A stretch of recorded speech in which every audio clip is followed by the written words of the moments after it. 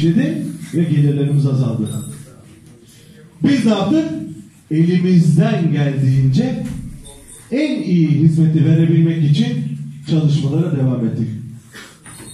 Kırsal mahallelerimize toplamda 35 milyon TL'lik yatırım yapıldı. Bugün mevcut mahallemizde görüldüğü gibi yollarımız asfalt, mahalle aralarımız parke taş olmak üzere çok iyi şekilde yapıldı. Mevcut eksiklerimiz var, olacak. Bunları da yine el birliğimle 1 Nisan'dan sonra yapmak için elimizden çabayı göstereceğiz. Muhtarımla görüştüm. Üç tane sokağımızda sıkıntılarımız var.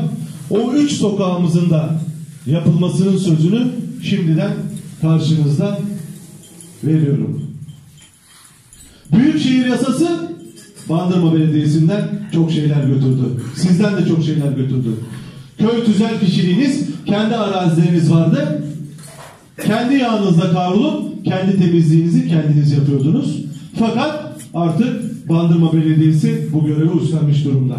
Elimizden geleni yapmaya çalışıyoruz. Yeterli mi? Değil. Hizmette sınır olmaz. Her zaman daha iyisini yapmak için elimizden gelen çabayı göstermek zorundayız. Köylerin